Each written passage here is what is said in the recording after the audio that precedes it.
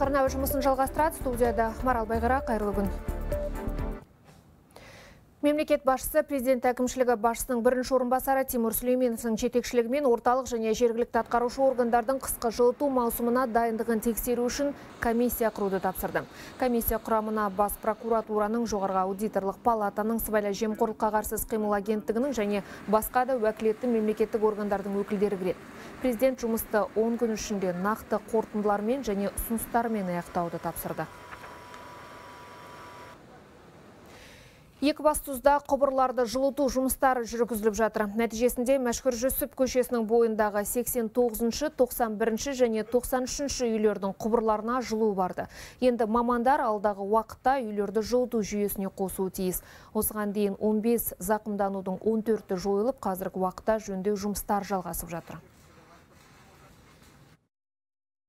Қазір біз мына нені жылытып жатырмыз, пар арқылы пардың көмегімен анда өзіміздің арнайы техника бар солар арқылы жылытып жатырмыз бүгін түннің ішінде міне тоқсан бірінші мәшрүсіп жібердік енді қазір мына ары қарай жалғастырып жатырмыз пар арқылы міне істеп жатырмыз ақырын Павлодар облысының әкімі Әбілқайыр Сқақов қызметінен босатылды. Президент тиісті жарлыққа қол қойды. Сонымен қатар Олег Круг аймақ басшысының міндетін уақытша атқарушы болып тағайындалды. Елде кеңістіктік деректердің ұлттық инфрақұрылымын құру және дамыту бойынша заң жобасы қаралды. Жобаны ұсынған министрлік арнайы платформа деректердің цифрлық форматта қолжетімділігін қамтамасыз ететініне сенімді. Әріптесім Мерей Мұрат Ханғызы Сенат отырысынан тікелей эфирге шығуға дайын. Мерей, қайырлы күн. Э, заң жобасының ерекшелігі неде және депутаттар шешімі қандай? Рахмет марал. Армысыздар ардақты ағайын э, геодезия картография және кеңістік деректері туралы заң жобасын депутаттар э, бірден қолдады. Оның негізінде елде ұлттық кеңістіктік деректер инфрақұрылымы құрылады. Оның маңызы өте зор. Себебі э, құзырлы министр бағдат мусиннің сөзінше елімізде сонау 1942 жылдан бері жүзеге асып келе жатқан мемлекеттік координаттар жүйесі бар екен. Бұл дегеніміз біраз шығынға батырды әрі көптеген олқылықтарға алып келгенін өздеріңіз білесіздер. Себебі қарапайым халықта кәсіпкер де шаруа да осы геодезия мәселесін мәселесімен күнделікті бетпе бет келіп жатады. Енді осы олқылықтардың орнын шешу үшін деректер бір платформада жинақталатын болады. Бұл саланы цифрландыру бойынша ең алғашқы жоба. Ал мәліметтерді жаңарту базалар интеграциясы негізінде жүзеге асады. Әрі жер қатынастары сәулет құрылыс табиғатты пайдалану тұрғын үй шаруашылық ауыл шаруашылығы сияқты салаларда халыққа дұрыс әрі сапалы қызмет көрсетуге жол ашады деді министр. Заң жобасын дәлелдеу барысында.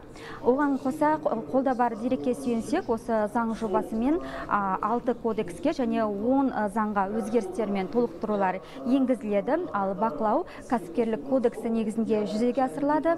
Олқылыққа жол берген адамдарға жауапкершілікке тарту қазір мәжіліс қарауындағы арнайы әкімшілік кодексі негізінде белгіленетін болады. Негізі заң жобасы қабылданды жаңа оны айтып кеттім. Одан бөлек бүгін сенат отырысында жоғарғы аудиторлық палатаның үш мүшесі сайланды және де осы жер қатынастары мүлік туралы заңға өзгерістер мен толықтырулар енгізу бойынша да ұсыныстар бірінші оқылымда мақұлданып енді екінші оқылымға жолданды. Қазір сенат депутаттары әлі де отырысты жалғастырып жатыр. Олар күн тәртібіндегі өзге де қосымша мәселелерді көтереді. Кейін үкімет мүшелеріне депутаттық сауалдарын жолдайды.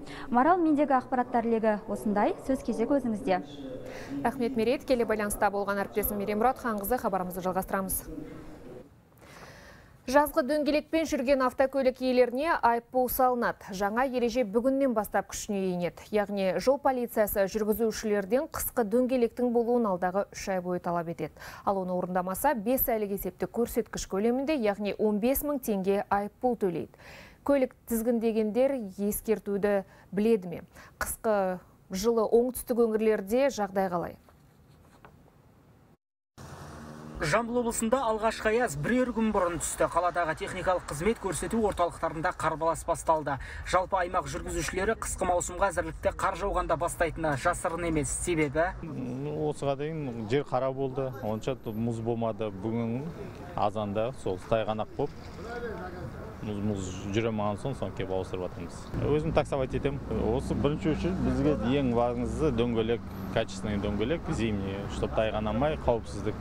Қажет бізге шымкенттік автокөлік иелері техникалық орталықтарға енді ғана ағыла бастаған. Өйткені күнгі өңірде жылы ауа райы ұзақ сақталады. Сондықтан сала өкілдері бұл қалыпты құбылыс екенін айтады. Дегенмен бұл жауапкершіліктен құтқармайды. Полиция қызметкерлері өткен маусымда 3500-ден астам автокөлік иесіне әкімшілік айыппұл салған. Автокөліктің мынау дөңгелектері сәйкес келмейтін болса мынау мына қазір стандартқа сәйкес мына жаздың күні бірде алты қыстың күні төрт миллиметр болу керек.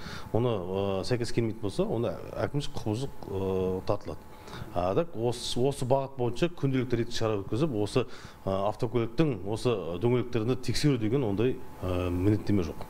Қазіргі таңда қызылордалық жол сақшылары түсіндірме жұмыстарын жүргізіп жатыр. Жеңіл көліктер мен жүк көліктерге қысқы немесе барлық маусымға арналған дөңгелектердің кейбір түрімен ғана жолға шығуына рұқсат беріледі.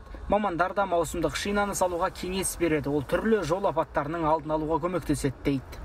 Бізде жыл жақ болғаннан кейін бізде қар түскенде ғана елдің бәрі келеді айтар асфальт жаңа салқындап түскеннен кейін жазғы дөңгелектер уже нені машинаны басқара алмай қалады. Сондықтан ауаның температурасы плюс жеті градусқа түскен кезде ауыстыру керек. Қыстық дөңгелек әрине жақсы тоқтатады машинаны. Полицейлер қыс айларында жазғы доңғалақпен жүретіндер жол апатына жиі түсетінін айтады. Ережені елемегендерге 15315 теңге көлеміндегі әкімшілік айыппұл салынады. Жыл ішінде ережені қайталап бұзған азаматтың ақшалай жазасы еселеп артады. Мерей байет нұрсұлтан мұхамеджан қамбар бекенов руслан ахатіллә хабар 24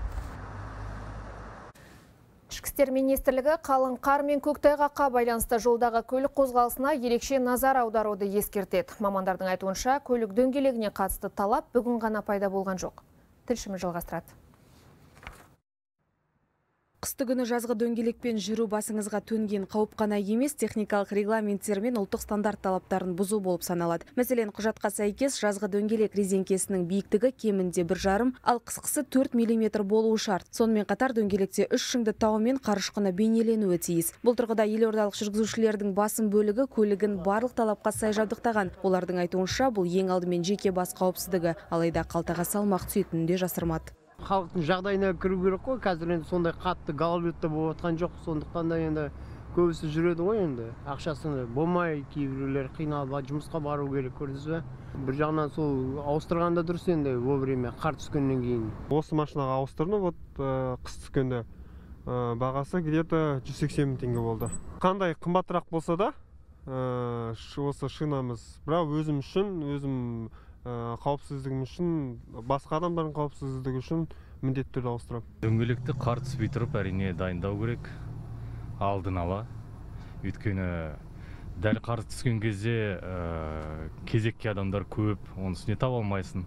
Ішкі істер министрлігі қалың қар мен көктайғаққа байланысты жолдағы көлік қозғалысына ерекше назар аударуды ескертеді. Мамандардың айтуынша көлік дөңгелегіне қатысты талап бүгін ғана пайда болған жоқ. Егер ол орындалмаса айыппұл салынады. Көлік құралы ол техника. Кез келген жағдайда мәселен қар жауғанда жаңбыр жауғанда ол жол мен көлік құралының дөңгелегінің арасындағы ілінісу байланысы төмен болады.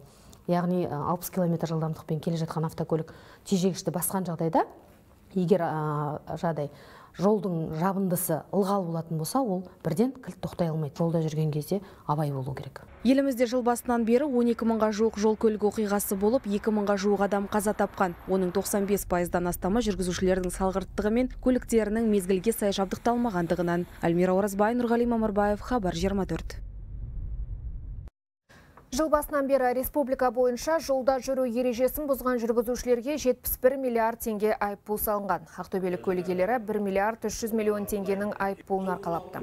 Дегенмен бұл сандар қазіргі жағдайды нақты көрсетпейді. Осы өңірі жолдарында 60 бақылау камерасы ғана орнатылған. Бұл заң бұзушылықтарды анықтауға жеткіліксіз.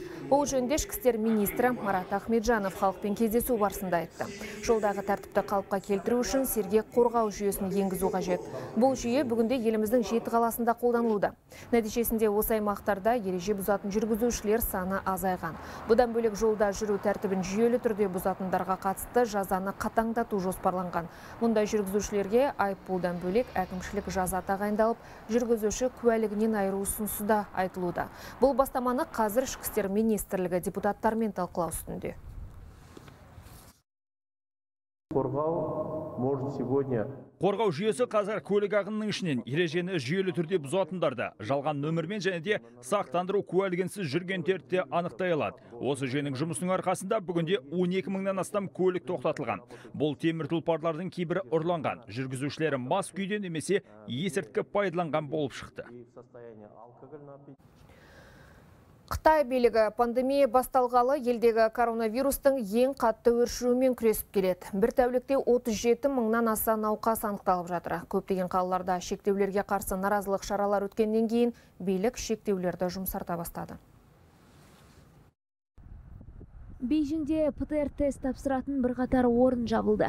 Көктемнен бастап тест тапсыру баршаға міндеттеліп оны өту тегін болатын. Енді әлдебіреу ұзақ уақыт тапсырмаса денсаулық кодын бұғаттайды. Тіпті ол ешқайда шықпаса да енді онлайн оқитын балалар мен негізінен үйде отыратын егде жастағы адамдарға тест тапсырмау рұқсат етілді. Тек қоғамдық орындарға кіру үшін қажет. Дегенмен халық шектеулер мен тыйымдардан әбден шаршады. Олар мол пайдаға кенелген тестілеумен айналысатын компанияларды қатал сынға алды. Сондай ақ птр қатысты алаяқтық белгілі болды. Алайда билік өкілдері бәрін бақылауда ұстап отырғанын мәлімдеді. Птр тестілеуге келетін болсақ біз онымен айналысатын мекемелерді қатал бақылап отырмыз. Келесі кезеңде бақылауды күшейтіп кез келген ереже мен заң бұзушылықпен күресеміз. Өткен аптада үрімжі қаласында болған өрттен 10 адам қаза тапқан еді. Жұрт мұны коронавирусқа қарсы қабылданған шектеулермен байланыстырды. Енді бейжің мен гуанчжоу қалаларында вирусқа қатысты жабылған үйлердің есіктерін бұғаттауға тыйым салынды. Қажетсіз бүкіл тұрғын кешенді оқшауландыруға және ұзақ мерзімге локдаун жариялауға тыйым салынды. Үрімжіде біртіндеп шектеулер алына бастады. Ауру жұқтыру қаупі төмен аудандардың тұрғындары жұмыс пен дүкендерге бара болатын болды. Іс жүзінде соңғы кезде қауым наразылығын шектеулердің өзі емес бақылауды әдейі күшейту мен ұзақ локдаундар туғызды. Қазіргі кезде түрлі елді мекендерде осындай қимылға жол бермейтін жұмыс топтары құрылды қазіргі кезде қытайда ковидпен ауырған 300 мыңнан аса науқас бар. Жүзге жуығы ауыр халде. Соңғы кезде бұл аурудан жеті адам қайтыс болды. Олардың барлығы 80-нен асқан кісілер. Сондықтан қытайда 80-нен үлкен адамдарға вакциналаудың арнайы жоспарын дайындады. Наргиз бекмағамбетова ботагөз сырғабаева хабар 24 қытай. Қазақстан мен Сингапур тауар айналымы бір жарым миллиард долларға жетті. Бұл туралы елшіміз Асқар Құтық адамның Сингапур президенті Халима Якуппен кездесуінде сөз болды. Ел басшысына Қазақстанның дипломатиялық миссиясының жаңадан тағайындалған басшысы сенім грамотасын табыс етті. Президенттің ресми резиденциясында өткен салтанатты рәсімнен кейін Асқар Құтлық адам Сингапур басшысымен кездесуге қатысты. Елші еліміздегі демократиялық реформалар туралы баяндады. Өз кезегінде Халима Якоп Қасым Жомарт Тоқаевты Сингапурға мемлекеттік сапармен келуге шақырған растады. Биыл бұл мемлекеттен Қазақстанға салынған инвестиция көлемі 651 миллион ақш долларына жетті. Елімізде Сингапурлық капиталдың қатысуымен 120-ға жуық компания тіркелген. Екі ел арасындағы ынтымақтастықтың негізгі бағыттары көлік логистикасы, іскерлік туризм, инфрақұрылым, ауыл шаруашылығы және IT технологиялары болып табылады. Проинформировал госпожу президента о последних событиях в Казахстане. Президент ханымға Қазақстандағы соңғы оқиғалар, соның ішінде маусымдағы конституциялық референдум және қарашадағы президенттік сайлау туралы баяндадым. Бұл тарихи белестер саяси үдерістердің ашықтығын қамтамасыз етеді. Қазақстанда жүргізіліп жатқан реформаларды Америка құрама штаттары қолдайды. Бұл туралы Вашингтонда ақш мемлекеттік департаментінің ресми өкілі Нед Прайс мәлімдеді. Оның айтуынша Қазақстанның сыртқы істер министрі Мұхтар Тілеубердімен тілдескен мемлекеттік хатшы Энтони Блинкен қазақ елінің тәуелсіздігі мен аумақтық тұтастығын одан әрі қолдайтынын білдірді. Жалпы екі ел байланысы жыл сайын тереңдеп келеді. Бұған дейін мемлекеттік хатшының көмекшісі Дональд Лу Қазақстанға барып қайтты. Бұл оның биыл елімізге жасаған екінші сапары болып отыр Каспия саяси орталығының жазуынша әлемдегі қазіргі жағдайларға байланысты Вашингтонның орталық Азия аумағына көңіл бөлуі байқалады. Оны мемлекеттік хатшының көмекшісі Дональд Луда растаған. Вашингтонның аймаққа деген қызығушылық артып келеді. Орталық Азиядағы серіктестеріміз тарапынан да ынтымақтастыққа деген құлшыныс бар. Бұл үлкен өзгерістерге ұшырап жатқан әлемнің стратегиялық маңызды бөлігі. Біз аймақ үшін ақштың сенімді серіктес екенін көрсеткіміз келеді. Әсіресе осындай күрделі жағдайда мұнай, азық түлік бағасы өсіп, халықаралық нарыққа тауарларды экспорттау қиындаған сәтте көрсетуіміз керек. Өзбекстан электр қуатына деген сұраныстың артуына байланысты жаңа гидроэнергетика нысандарын көптеп салуға кірісті. Ташкент облысында қуаттылығы 90 мегаваттық төменгі шатқал станциясының құрылысы басталды. Іске қосылған соң су қоймасы мемлекетке жыл сайын 90 миллион текше метр газ үнемдеуге мүмкіндік береді. Тақырыпты осы елдегі тілшіміз Рауан Мыңбаев толықтырады. Бұл су арнасы Қырғызстан мен Өзбекстан шекарасындағы шатқал арқылы өтіп, Ташкенттің Шарбақ қоймасына құяды. Өзен бойындағы жаңа плотина құрылысы 2 жыл бұрын қолға алынды. Биіктігі 50 метр болатын бөгет тұрғызылып жатыр.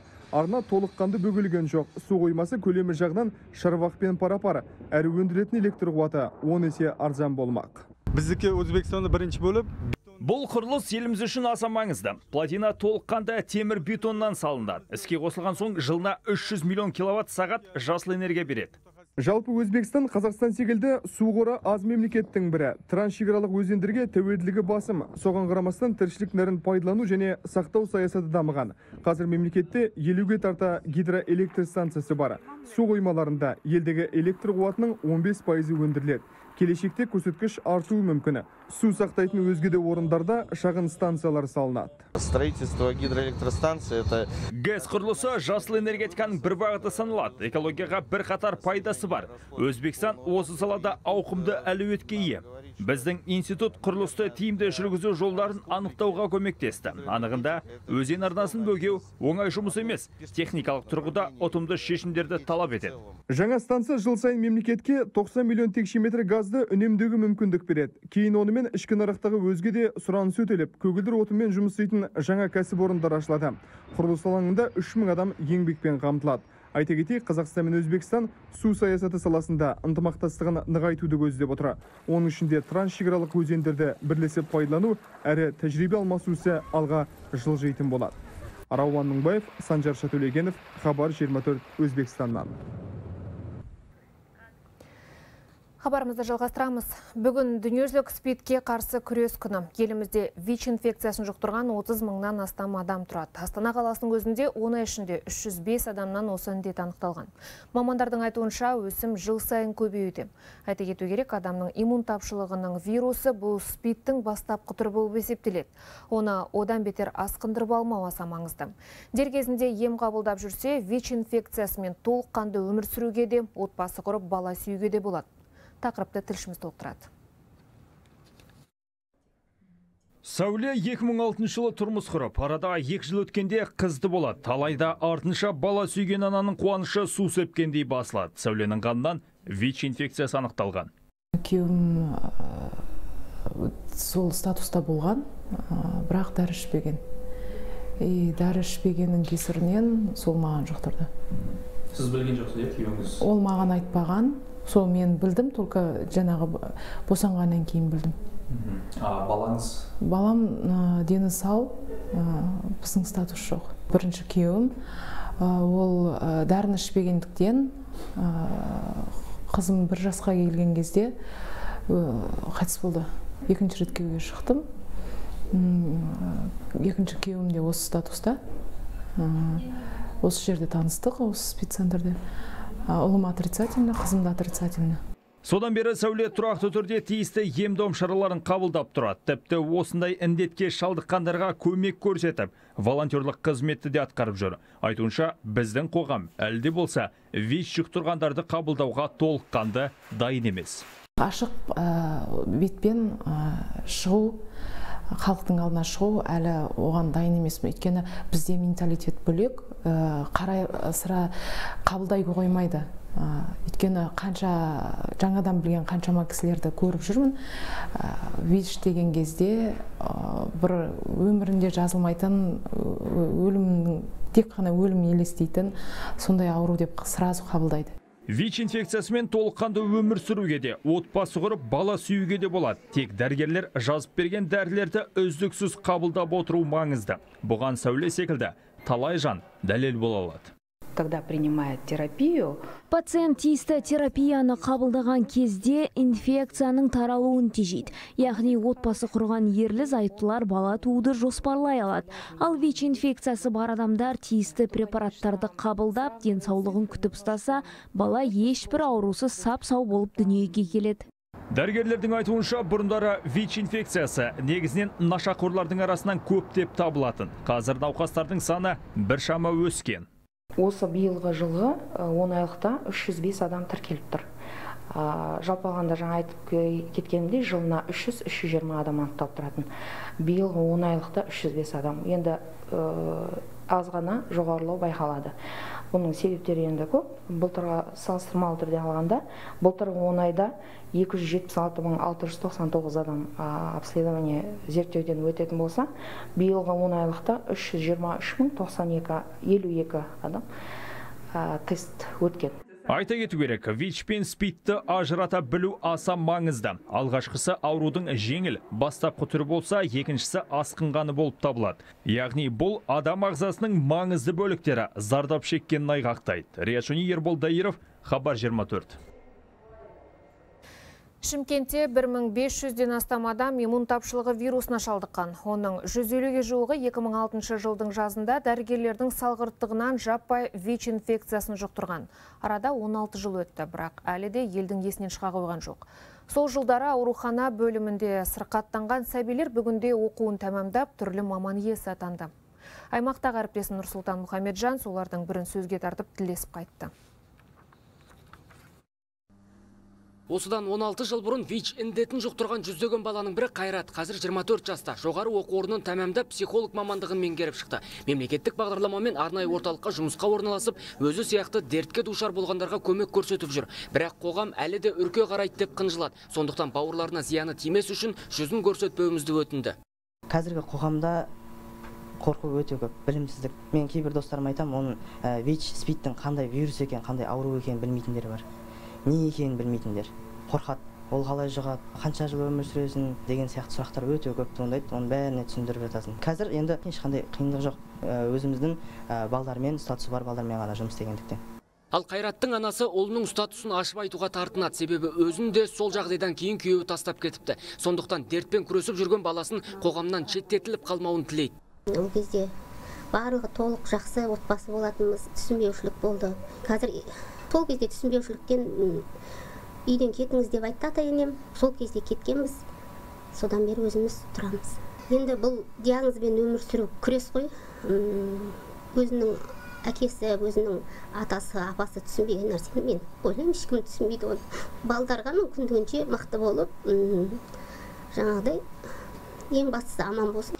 Жұқпалы инфекцияның таралуын жіті түсіндіргенде ғана қоғамды үйретуге болады. Өйткені вирустың жұғуы айтарлықтай төмендеді. Ұдайы қолданылатын арнайы дәрі дәрмектің нәтижесінде өлім жағдайы азайып вичке шалдыққандардан дені сау бала дүниеге келіп жатыр. Жетістен балаларды қорғау қорының өкілі осылай дейді. Алдыңғы қатарын баланың өзі әке атанып төрт бала шағасы бар. Қазіргі медицина алға жүрген үлкен жетістіктердің біреуі ол вичке шалдыққан адамдардан дүниеге сау балалар келеді яғни ата анасы да вич болса да сол уақытысында дәрісін іше дүниеге сау бала келеді қазіргі таңда бізде 16 вич шалдыққан балалардан 16 дүниеге келген қыз балаларымыз бар олардың бәрі дені сау Шымкентте иммун тапшылығы вирусына шалдыққан 177 бала тіркеуде тұр. Оларды тегін дәрі дәрмекпен қамтып, қажетті психологиялық кеңес беру жағы жоспарлы түрде жүргізіледі. Мамандар жыл соңына дейін 39 жеткіншектің статусын ашқалы отыр. Эти э, средства ағымдағы жылы бюджеттен 249 миллион теңге бөлінді. бұл қаражат балаларды дәрі дәрмекпен қамтамасыз етуге оңалту шараларын жүргізуге жұмсалады. одан бөлек медициналық әлеуметтік көмек пен тегін тестілеуден өтуіне бағытталған. Шымкентте демеушілер есебінен бүлдіршіндерді қолдау шараларын жүргізіп жүрген үкіметтік емес ұйымдар арнайы мемлекеттік бағдарлама жолға қойылса екен дейді. Себебі қоғам арасында түсіндірме жұмыстары кенжелеп қалды. Одан бөлек вич вирусын жұқтырғандардың құқығы шектеліп жұмысқа орналасуы қиындай түскенін алға тартып отыр. Нұрсұлтан мұхамеджан нұрмахан бекмұратов хабар 24 шымкент.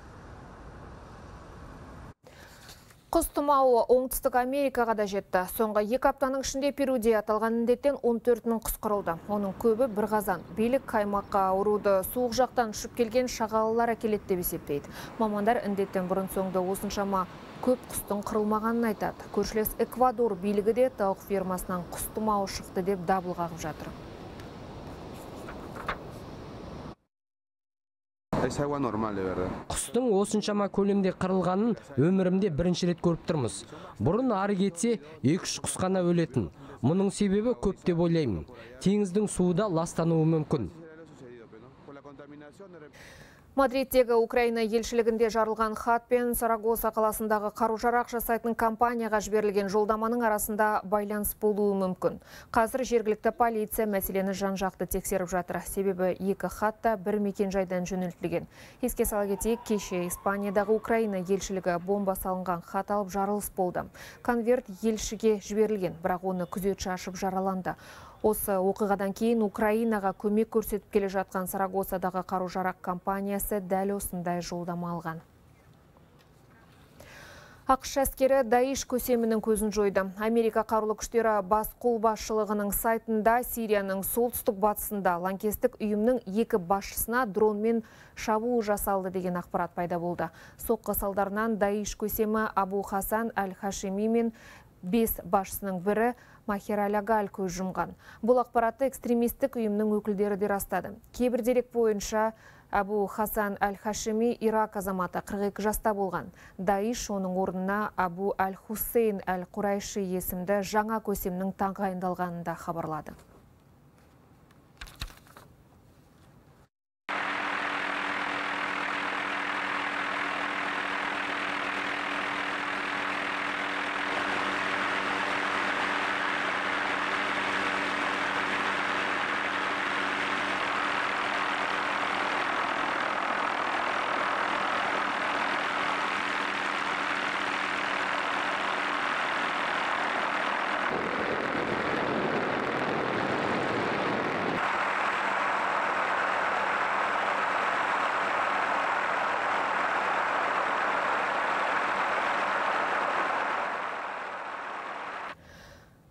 Жұқтырылған иммун тапшылығының синдромына қарсы күресті тежеп отырған басты мәселе теңсіздік. Оның үстіне коронавируста кесірін тегізді. Біріккен ұлттар ұйымының өкілдері осылай деп отыр. Соның салдарынан 2030 жылға қойылған мақсатқа қол жеткізе алмаймыз дейді сарапшылар. Бұл не мақсат? Тілшіміз жауап іздеді. Осыдан 8 жыл бұрын ғалымдар 2030 жылға дейін жұқтырылған иммун тапшылығының синдромын жеңеміз деген еді. Ол кезде дүниежүзілік денсаулық сақтау ұйымының өкілдері мұны өршіл мақсат деп атаған. Дегенмен орындауға болатынын айтқан. Бірақ ол кезде ешкім пандемияның болатынын болжай алмаған. Сөйтіп, бір жағынан коронавирус, екінші жағынан Украинадағы шиеленіс бұл бағыттағы күреске кесірін тигізді. Шындықтың бетіне тура қарауымыз керек. Сондықтан 2030 жылға дейін жұқтырылған иммун тапшылығының синдромын жеңе алмайтынымызды мойындауға тиіспіз. Өйткені медицина қызметтері дәрі дәрмек барлығына бірдей қолжетімді емес.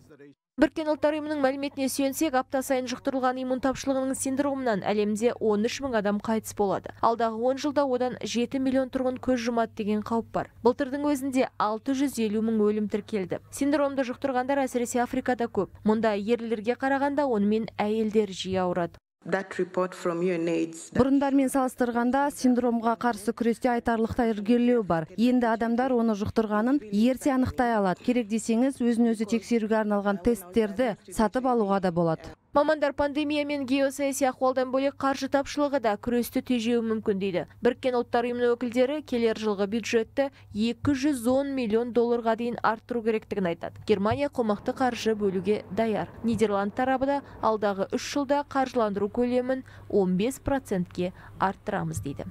Жұлдыз Атагелдиев, Әсел Абдыхалықова, Сандуғаш Байғуаныш, Дәулет Кибраев, Хабар 24. Атырауда жұқпалы иммун тапшылығы синдромы ауруын бастапқы кезеңде анықтайтын әмбебап зертхана іске қосылды. Нәтижесінде тексеру жұмыстары жанданып, бір жылда 61 адамның уақытылы емделуіне жағдай жасалып отыр.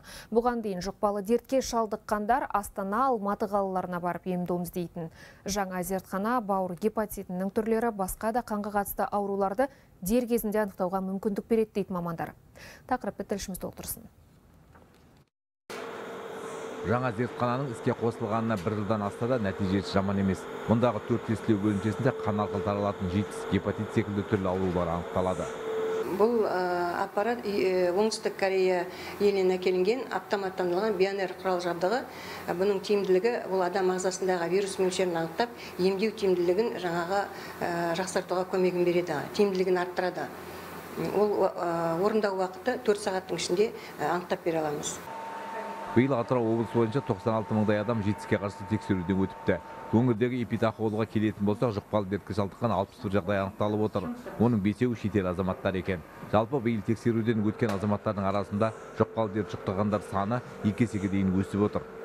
Оның негізгі себебі бүкіл халықты тестілеудің былтырғы он аймен салыстырғанда біздер он пайызға көп жүргізіп отырмыз. Және клиникалық көрсеткіш бойынша анықтаймыз тестілейміз. Оларымыз былтырғы жылдың он айымен салыстырғанда отыз алты пайызға көбірек болып тұр.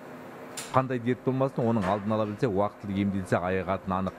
Сондықтан ауырып ем іздегеннен ауырмаудың жолын іздегендер бүгінде жетіс орталығына келіп тұрақты тексеруден өтіп тұрады. Арыстанбек кенже амантай матенов жандос рахметуллин хабар жиырма төрт атырау. Қарағандыда сүйек тінінің жеке банкі құрылған. Көп салалық аурухананың хирургтары неміс технологиясы бойынша сүйек қорын жинаудың арқасында жылына 200-ге дейін операция жасайды.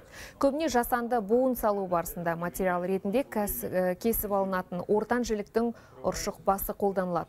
Алдымен сүйек бөлігі өңделіп, кеміршек беті алынып тасталады. Одан соң зарарсыздандыру контейнеріне салынады. Сөйтіп 104 градус температурада термиялық тазартудан өтеді. Нәтижесінде барлық вирустар мен ақуыздар жойылады. Осылайша сүйек құрамының өзі ғана қалады. Контейнер арнайы тоңазытқыштарда минус 28 градус температурада 5 жылға дейін сақталады. Дәрігерлер мұндай донорлық сүйектің 100% бітіп кететінін айтады. Бұл әдіс сүйек үсіктерін, сондай-ақ тіннің жұқаруына байланысты байланысты сынықтарды құлау соғылудан болған жарақаттарға операция жасау кезінде қолданылатынын айтады. Операция протезирования жасаған кезде ортан жіліктің басы кесілініп алады. Сол бастан біз трансплантат жасаймыз. Өйткені ол бұл науқасқа керек жоқ болады өйткені оған жаңадан буын салынады. Сосын ол сүйек кез келген уақытта керек кезде алынады. Банктан и қай науқасқа керек соған қолданылады. Әзірге айтарымыз осы. Басты ақпаратқа арна қосылу болсын.